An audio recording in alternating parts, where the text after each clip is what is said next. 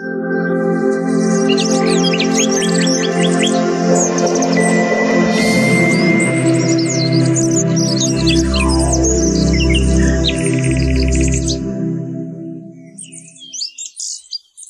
alaikum warahmatullahi wabarakatuh.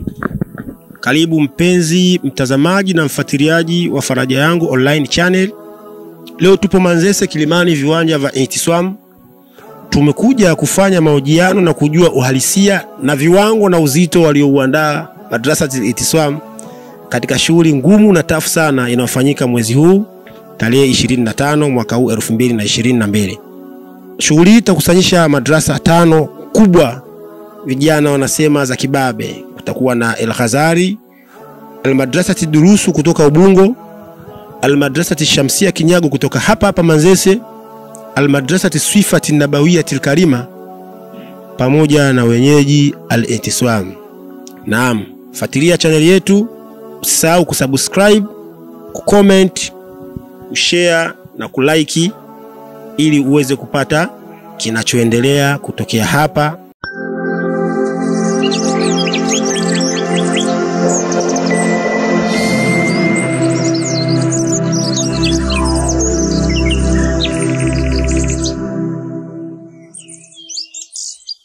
Naam, mpenzi mtazamaji wa Faraja Yangu, sasa tunataka tufahamu historia ya Itiswamu kwa ufupi tu. Ilianzishwa mwaka gani? Ustaz Abduli, hii Itiswamu ilianzishwa mwaka gani aswa rasmi?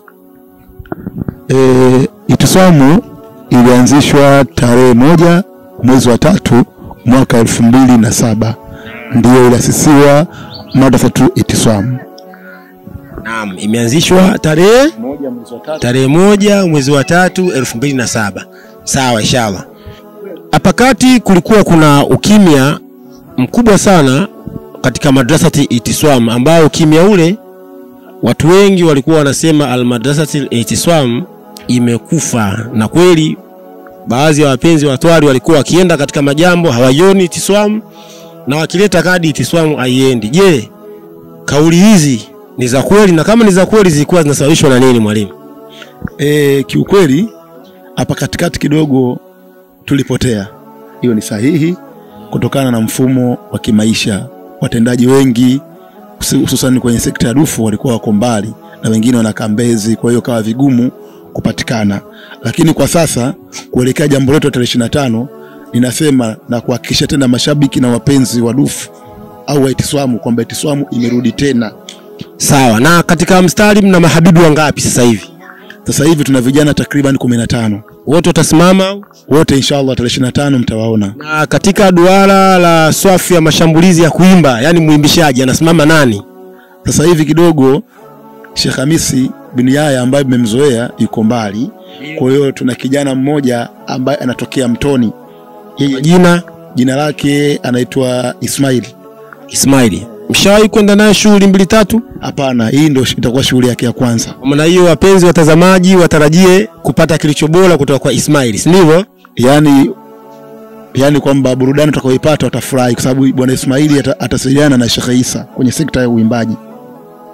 Na mpenzi mtazamaji, kama unavyosikia Sheikh Abdul anajikomenti kwa ndani kabisa kwamba radha za safari hii zitakuwa si za kitoto wala si za kawaida. Kutakuwa na Sheikh Ismaili ambaye atachukua nafasi tulioizoea akishika mwalimu Hamisi Yahaya, lakini atashirikiana na mwalimu Isa katika kuhakikisha uwanja huu unabaki. Je, Sheikh Abduli, unajiamini vipi kwa kutuambia sasa sasa hivi itiswamu hii inabakisha uwanja hapa? Maana kuna vidume kuna Ghazali, kuna Swifa, kuna Durusu, ni vidume wapo hapo, kuna Kinyago. Je, wewe kipi kinachokufanya kwamba useme uwanja huu utabaki hapa? Ni kitu gani ambacho unajiamini 100% mwalimu? Ah, katika madufu shekhe wangu sio kama najiamini Ndio, kutokana kwamba itiswamu nadhani watu wanaijua ndio. na hatuwezi kuangusha watu wa Manzese. Nadhani hii ni dabi ya Manzese, Tandika pamoja na Magomeni. Inshallah kwa uwezo wa Allah, basi uwanja utabaki nyumbani. Je, unaweza kutajia ni kasida ipi ambayo mmejipanga nayo? Kasuda ambayo tumejipanga nayo ni adhabu ya kaburi. Adhabu ya kaburi. Inshallah. Kipi unakikubali kutoka Ghazali katika mfumo wao mzima wa timu yao nzima ya burudani? Kiukweli Ghazali na wakubali kwa utulivu wao, Utulivu. Durusu ni utulivu vile vile. Kinyago, Shamsia Kinyago, utulivu, Sifatun Nabawiyatul Karima. utulivu. Na mpenzi mtazamaji, kama ulivyosikia Sheikh Abduri anasema anakubali vitu vingi sana kutoka katika hizo darasa ambazo amezialika ikiwemo ni utulivu, lakini pamoja na utulivu huo anaokubali, anahakikisha 100% uwanja utapatikana hapa.